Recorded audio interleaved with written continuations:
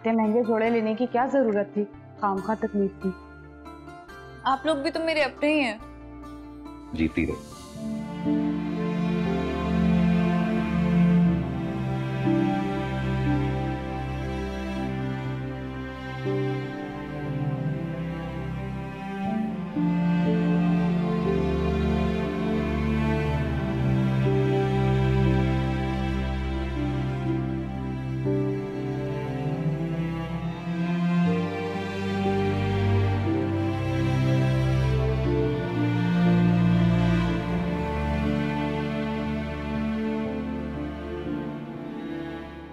आप लोग मेरे आने पर बहुत हैरान हो रहे होंगे क्योंकि जिरगे की रिवायात के मुताबिक, औरत गवाही देने तो आ सकती है, मगर शरीक नहीं हो सकती। लेकिन ये मामला कुछ ऐसा था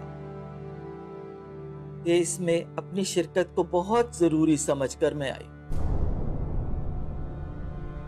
आप लोग मेरी राय को गवाही के तौर पर कबूल करें। क्योंकि ये मामला एक नहीं दो लड़कियों का है। अभी तो ये तय भी नहीं हुआ बीबी जान कि मसला क्या है। हम तो मलिक साहब के कहने पे यहाँ सब जमा हुए हैं। अभी एक दोस्त ने मैं बात की थी कि सच्चा कौन है, झूठा कौन? मैंने भी आज आप लोगों को यहाँ इसी बात के लिए जहमत दी है कि आप लोगों के सामने सारी सच्चाई खोल के रख दूँ। खुशकिस्मती से, बीबी जान भी यहाँ मौजूद हैं और ये मेरी सच्चाई की गवाही देंगी। आपको अपने इल्म और इबादत की कसम है, बीबी जान, कि अगर मैं कोई गलत बात करूँ तो आप मुझे वहाँ टोकें।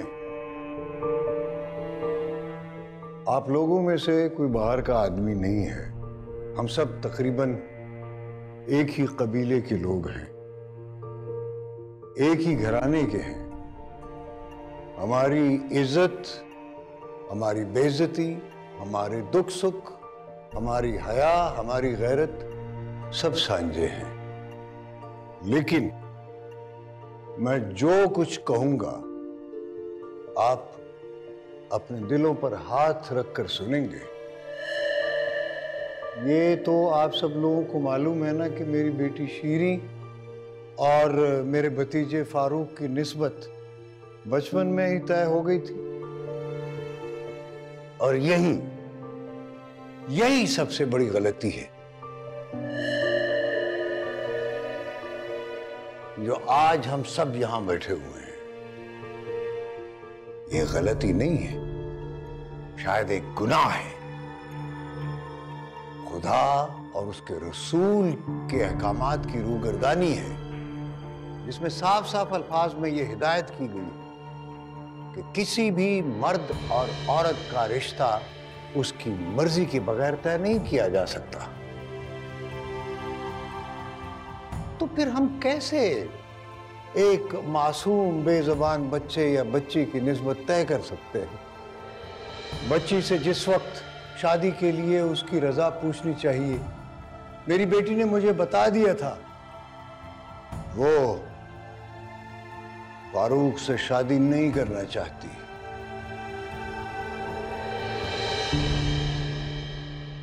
लेकिन मैंने भी अपनी झूठी इज़्ज़त और अना की खातिर अल्लाह और रसूल के अहकाम को पसे पुष्ट डाल दिया और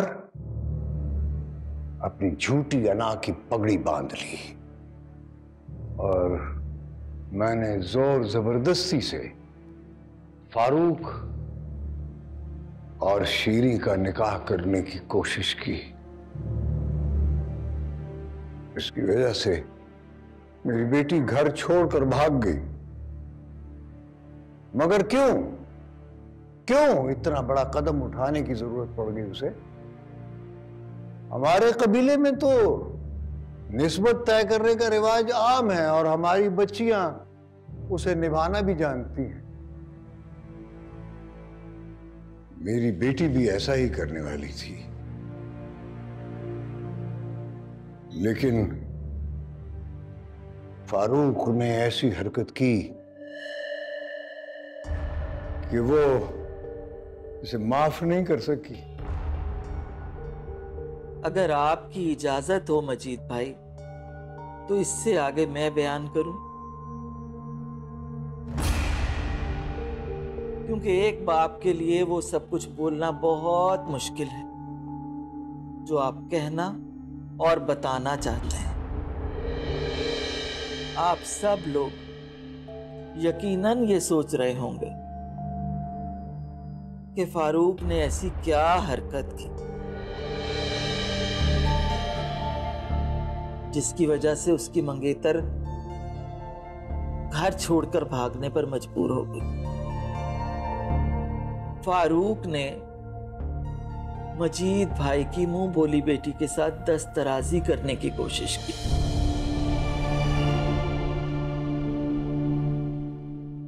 जिसको शीरी ने खुद अपनी आँखों से देखा। ज़ाहिर है, जब एक बहन को अपने होने वाले शोहर की आँखों में अपनी दूसरी बहन के लिए गंदगी नज़र आएगी तो उससे बर्दाश्त नहीं होगा। इसलिए उसने इस रिश्ते से इनकार कर दिया। और हम लोगों के बहुत ज़्यादा ज़ोर डालने पर वो घर छोड़कर भाग गई। जिसके लिए उसने फरहाद उर्फ़ हीरो का सहारा लिया। इससे आगे क्या हुआ? इसका सच और झूठ तो ना मुझे पता है और ना ही मजीद भाई को। इससे आगे की कहानी आपको उन दोनों में से किसी एक से सुननी पड़ेगी। या शीरी से या फरहाद से।